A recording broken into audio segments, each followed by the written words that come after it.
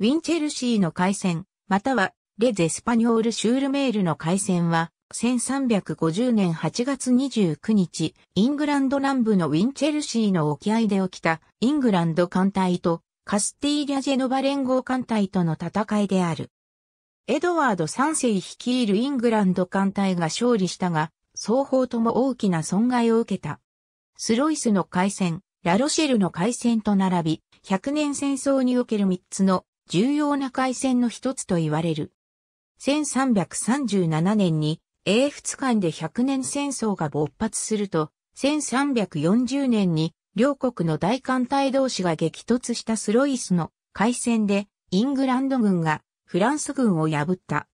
一方、内陸部では両者とも決定的な勝利をつかめなかったが、1346年にフランス軍はイングランド軍にクレシーの戦いで大敗を喫し、ドーバー海峡を望む重要港湾都市カレーも翌年に陥落した。カレーを確保したことにより、イングランド軍はフランス北部での軍事活動が容易になった。1348年、ヨーロッパで国死病が大流行し、打撃を受けた両国は和平を模索し始める。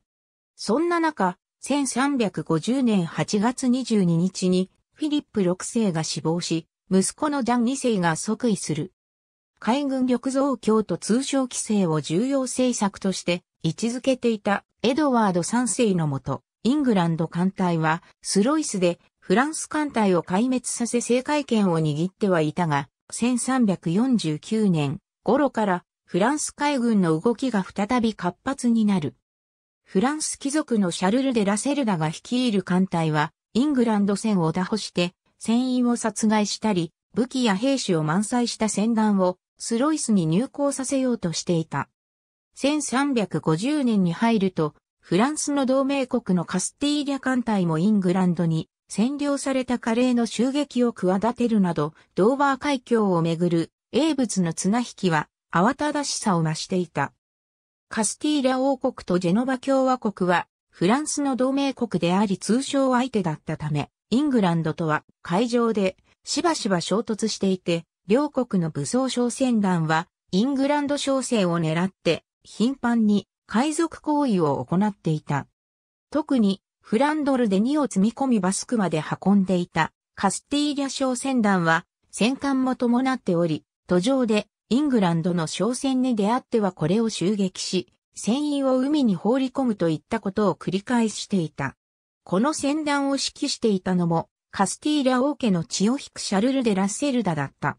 戦いの別名であるレゼスパニョール・シュールメールとは、ラセルダのことを指す。1350年8月10日、エドワード3世は、カスティーリャ艦隊を帰国途上で攻撃するように、号令をかけ、帰化の艦隊をヴィンチェルシーに集結させた。エドワード3世は21歳のエドワード黒大使らを連れて陸路でウィンチェルシーに向かうと28日にコグ船の機関トマス号に乗り込んだ。イングランド艦隊は闘病したまま、カスティーリャ艦隊の出現を待った。一方のラセルダは沖合を進めばイングランド艦隊との接触を避けることもできたであろうが敵艦隊との遭遇を予測しつつ沿岸を進んだ。艦隊の中核をなす40隻の大型艦があるためイングランド艦隊より優位に立てると考えていたし、さらにはフランドルの港で石級兵を中心とする傭兵団も雇い入れていた。29日午後4時、カスティーリャ艦隊は東からの風を背に受けてイングランド艦隊の前に大胆に姿を現し、戦闘が始まった。当時の海戦の定石通り、両艦隊はお互いの艦船をぶつけ合って戦場の白兵戦が始まった。エドワード3世が乗る機関もカスティーリャ艦の体当たりを受けて、たちまち海底に沈み、王や近衛兵はかろうじて体当たりしてきた敵艦に乗り移って難を逃れたという。ラセルダがフランドルで雇ってきた石級兵は威力を発揮し、カスティーリアの大型艦から高さを生かして降り注ぐ攻撃はイングランド軍に大損害を与えた。